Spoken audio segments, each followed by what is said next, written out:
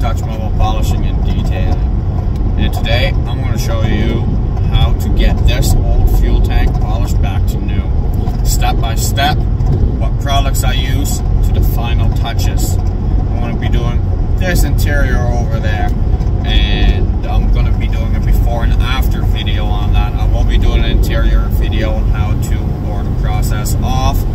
Uh, another time, today I don't have an insane amount of time because it's Super Bowl tonight and I would love to watch that with my friends and, uh, and my girlfriend and my little son. Uh, today's video is mostly based onto the fuel tank um, because I don't want to overcomplicate it onto the first video and it'd probably be more enjoyable for you if we do fuel tank video another day we do a video on rims another day we do an, a, video on battery boxes or top the steps or a moose bumper all that kind of fun stuff so we're at the shop um, getting ready to be polishing this tank already cleaned the interior on this truck as you can see it looks pretty neat Later on the video, you will see more.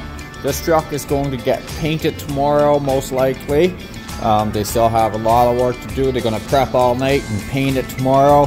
Today, I'm going to get that tank nice and shiny. The rims for this truck, um, they are not being done because the customer that was going to drop them off uh, had to run out of town and wasn't able to drop them off. So they are putting brand new ones on instead. Um, so this tank right here, as you can see, it's pretty rough. Um, a little dirty, scratched up. It's not too crazy pitted. It has definitely seen better days. Um, but that's no biggie. I deal with this every day. First things we're gonna do, we're gonna take the steps off. So we're gonna need for these ones here, the 13 mil and a ratchet. That will take care of the rest. Um, we're gonna clean the tank most likely with just a little bit of brake clean and a rag, just wipe it down. Um, usually I prefer pressure washing it.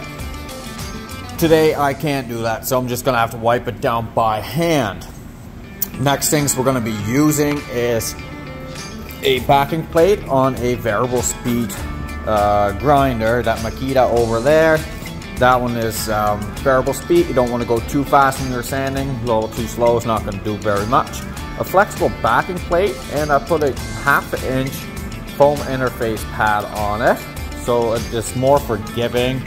Um, this tank is pretty rough so there's a big chance we're going to do some 120 and then we would step down to a 220, 500 and I really like to finish off with a 800 grit. The Norton Gold sandpaper is by far my most favorite sandpaper to use. Sometimes, some guys, they like a different brand. This is the brand I like. A good respirator. Um, sanding aluminum and polishing aluminum is very dusty and unhealthy. That is a must have. A 6,000 RPM grinder uh, for the cutting. Sometimes I finish with it, but today I'm going to be finishing off with a variable speed when all the polishing is done, the sanding and the heavy polishing, um, whatever we can't reach, we're gonna do by hand. Um, blend it in as much as we can. Sometimes it'll be more gray and sometimes it'll actually shine like really nice. So I like to use Renegade Products USA Rebel Red Pro.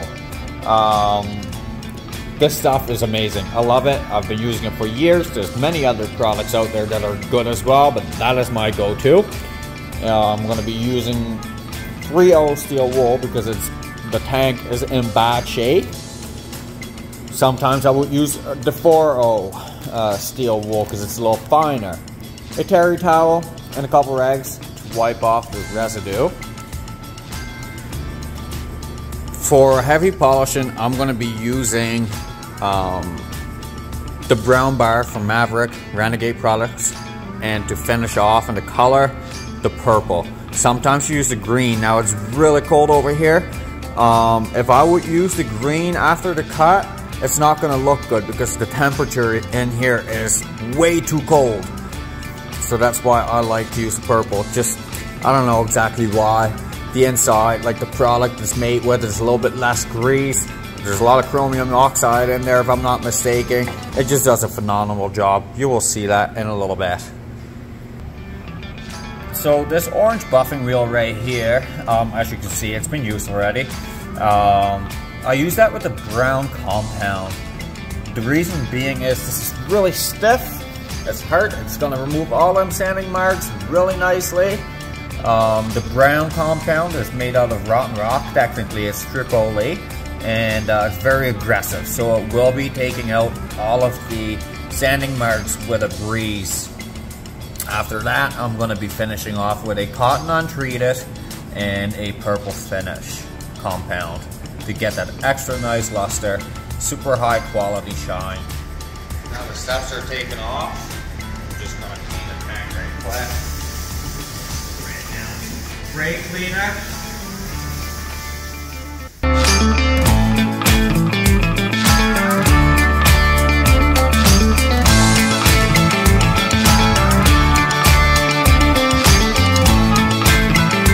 all you gotta do screw it on.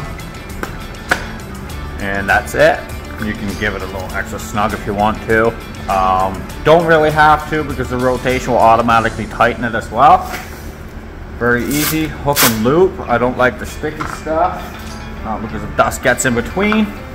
You will not get a um, it won't stick. So I like to hook and loop. There's the 120 grit. Um, and simply just slap it on nice and straight. If you give it a quick spin, there shouldn't be too much movement there. First things first, I'm to put my respirator on and I'll start sanding and I will be putting the time lapse on. Every time I switch to a different grit sandpaper. So now I'm to start with 120, second step will be 220, the third step will be 500 and after that be 800 grit.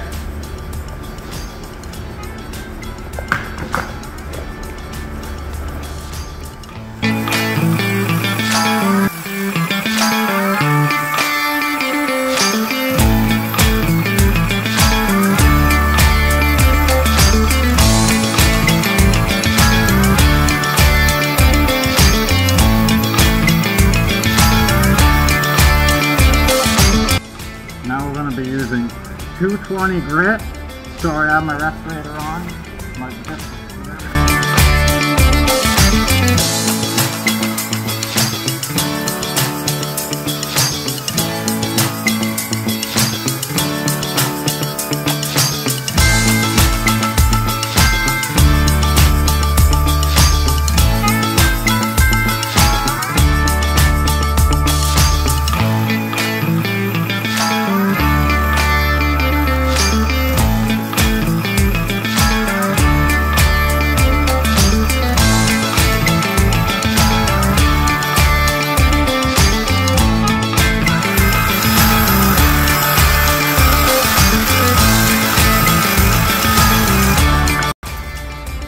Just stop for a second. As you can see, the last step I went side to side.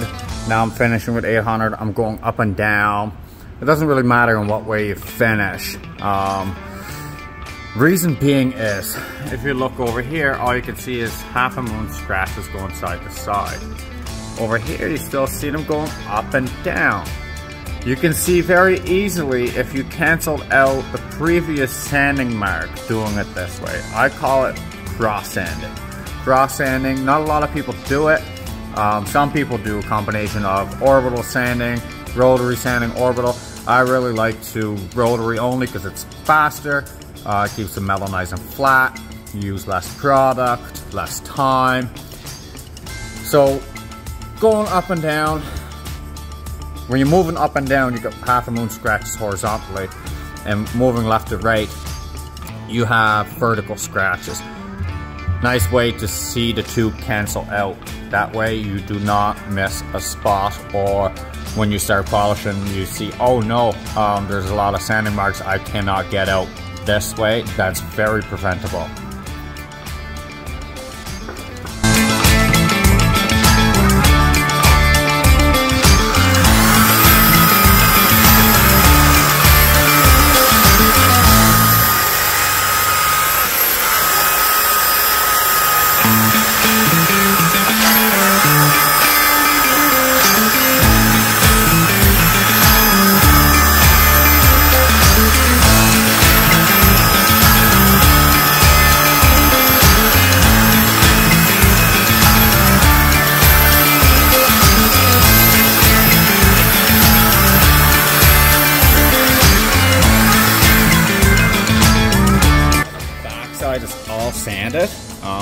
Show you what grits I did first, and the cross sanding and stuff. I'm going to uh, do a time lapse, me sanding uh, the front side of this fuel tank from 120.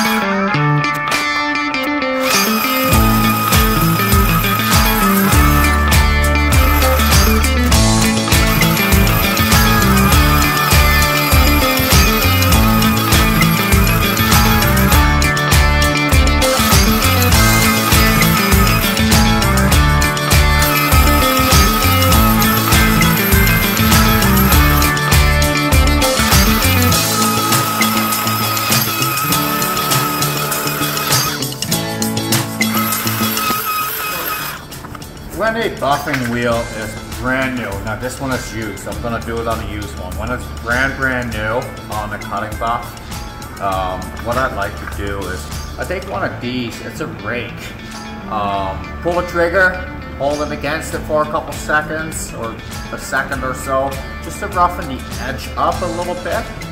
A cutting buff, I only do that once, because you want to keep it stiff.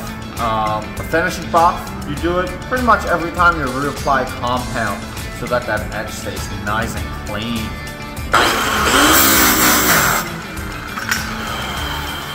Basically all that to it. You take your compound to apply this compound to a buff.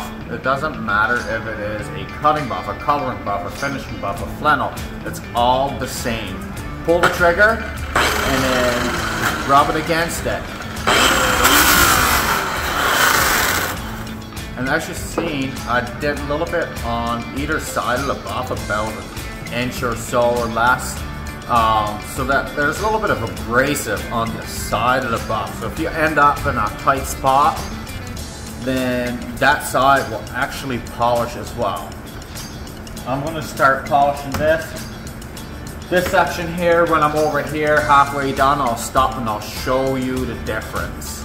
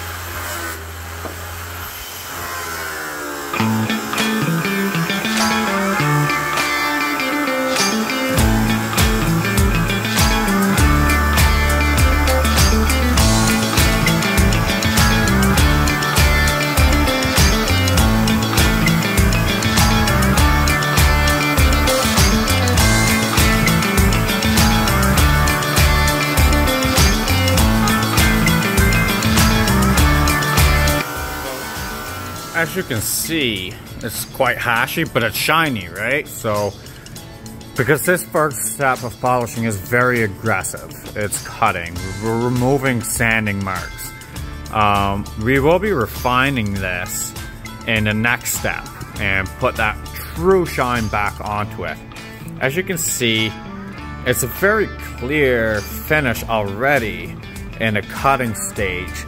That's nice, that's good, that's what you want to see. So from sanding to a perfect nice mirror finish that's a perfect cut when I'm going to color this is going to pop like it's going to be amazing right?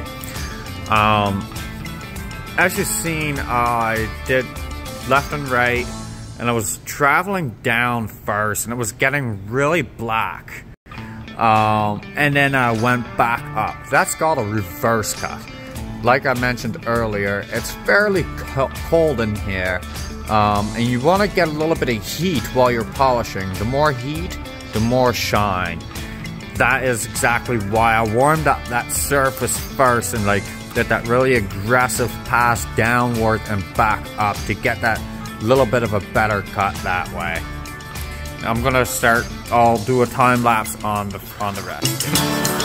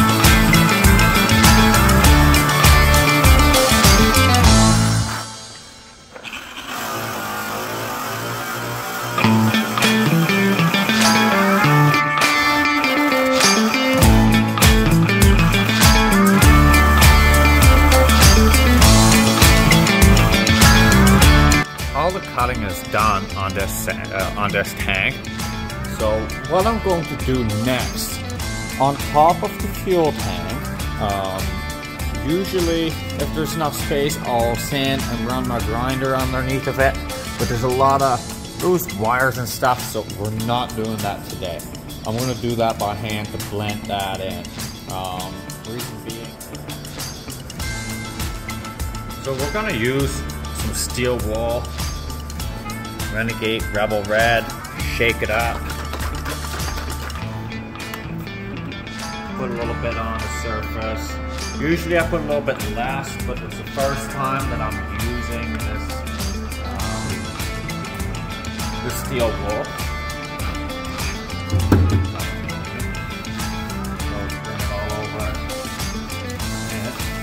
give it a really good scrub back and forth Make circles if you want. Keep rubbing it.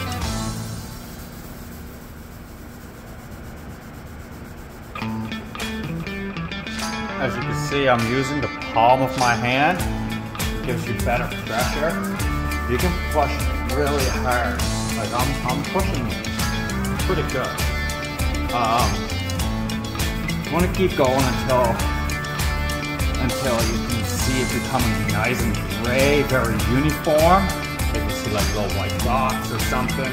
Try to keep going until they're gone. They don't always go if they're if the tank is too bad.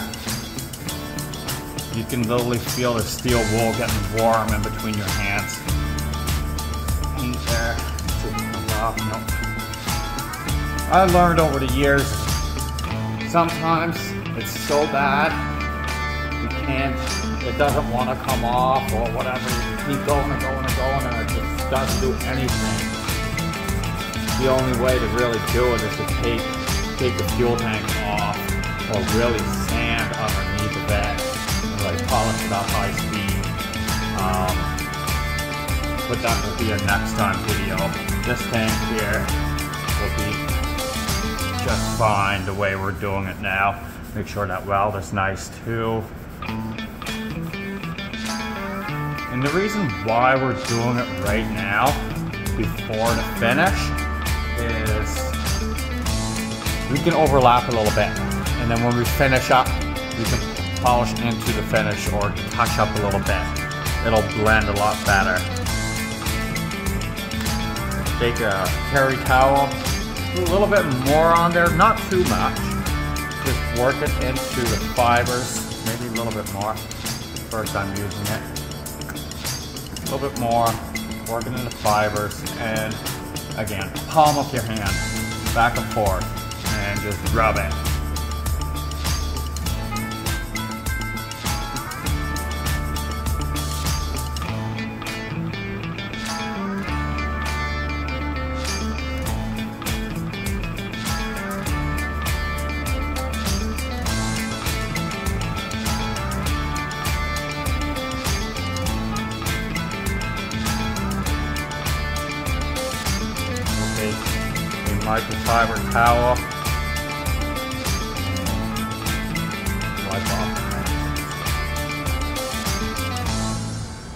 Go.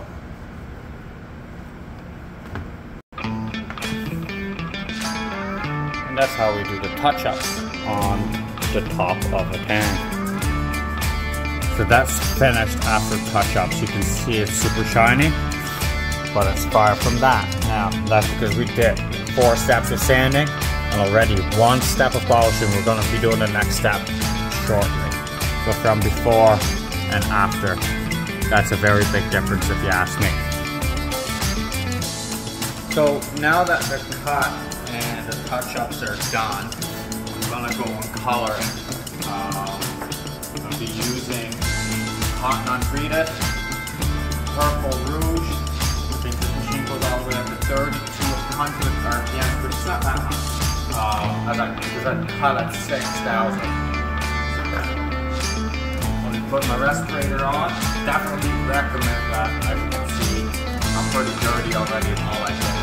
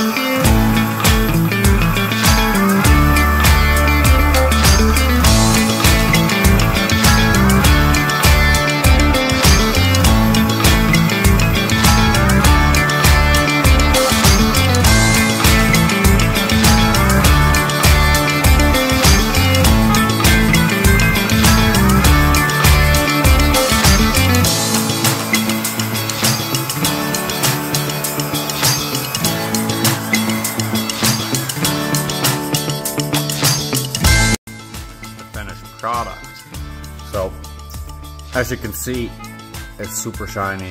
Uh, the clarity is there. Doesn't matter if we're on the back side or the front side of the tank, the clarity is there. When this is outside, it's gonna look even better because the light in here is not that great. Outside, pure daylight, that is going to pop. Better than factory finish. If you guys have any questions, just drop it down in the comments and I will get back to you as soon as I can and answer most questions, or if not all. I try to answer all of them. Um, yeah, feel free to hit me up at any time.